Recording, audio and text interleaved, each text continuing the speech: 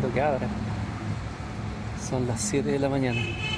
No amanecía y algunos ya hacían fila, y eso que aún faltaban horas para que los distintos supermercados abrieran sus puertas. ¿A qué hora se despertó? Normal. Pero nunca me levanto tan temprano. 7. 7 de la mañana. A las 7 con 30 minutos, ya con luz, la pequeña fila inicial se transformó en algunos puntos en esta longitud. Y varios adultos mayores se quejaban de no tener preferencia. Dijeron bien claro que la cuestión era a las 8 para los viejitos hasta las 10 de la mañana. Y viene gente mayor, joven aquí, igual se mete. El, eh, otro supermercado el que hace eso. A esa hora la fila atravesaba una, dos, tres, cuatro, cinco cuadras y a veces más. En la avenida Pedro de Valdivia, la fila incluso daba vuelta a la manzana. Todos madrugadores. Entre ellos, nosotros. Bueno, es larga la fila que hay a esta hora aquí en el supermercado, todavía no abren las puertas. Vamos a a buscar nuestra ubicación en la fila. Llegamos a uno de los tantos supermercados ubicados en las comunas que tendrán cuarentena. ¿Dónde comienza la fila? Y buscamos ubicación en esta larga fila que atravesaba el frontis, que bajaba los estacionamientos techados y los cruzaba, que aparece por los estacionamientos abiertos e incluso sale del espacio del supermercado directo a la calle. Y aquí, junto a todos ellos, iniciamos la tediosa espera para conseguir provisiones. Al final de la fila. ¿Todavía no abre? Parece que no. Pero está reponiendo porque de- ayer debe haber venido mucha gente, seguro. ¿Cuánto tiempo tú calculas la espera acá? De esta fila, ¿dos horas? Que no tienes bolso, viniste a comprar pocas cosas. Cosa plástica. Hay que tener poroto y lentejas. Poroto y lentejas, tú dices. Pero son, ¿cuántos son? ¿Siete días? Siete días.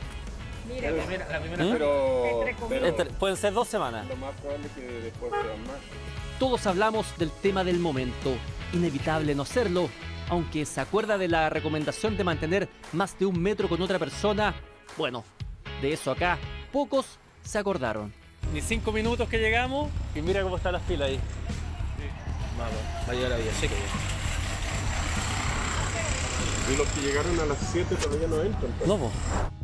En este otro supermercado de Providencia, los primeros en llegar esperaban impacientes que abrieran las puertas. Unos aguardaban de pie junto a la entrada. Yo llegué a las seis y media. Seis y media acá. Seis y media acá. ¿A qué hora se Seis- despertó para estar a las seis y a media? las cinco. cinco. A las cinco de la mañana. Temprano es la única forma. No queda otra. Se llena después. Así es. Otros llegaron igual de temprano, pero en auto. 6 de la mañana, Seis de la mañana. sí señor. ¿Y espera comprar para cuánto tiempo? ¿Para una semana o dos semanas? Por lo menos dos semanas. Y si la fila de gente a pie era larga, la de personas en vehículo no era menor. Recuerden el metro de distancia, por favor. A las 9 horas finalmente se abrieron las puertas, aunque otros supermercados lo hicieron a las 8. La reacción en todo caso fue casi igual en todos lados. Nosotros venimos todos allá. No, la fila está de acá. Con uno que otro problema a veces, por lo típico. ¿Quién llegó primero? ¿La gente a pie o los automovilistas? La tercera no hizo la fila. la gente se aprovechó y se empezó a meter. Sí, exacto. Ahí tendrían que haber estado ustedes. Un auto parado allá hasta Bilbao. Entonces, ¿cómo me dice ahora que no vamos a poder? Y acá estaba la fila. Finalmente se ordenó una fila única y comenzó el ingreso en paz y en grupos, en este caso de 30 personas.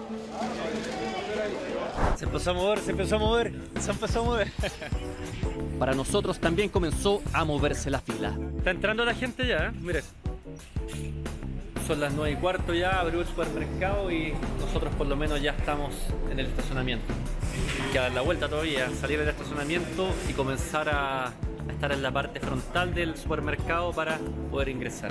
En cerca de 40 minutos cruzamos todo el estacionamiento techado hasta literalmente ver la luz. Ya pasamos la primera etapa. Yo creo que ya estamos en la parte final, porque queda menos de la mitad.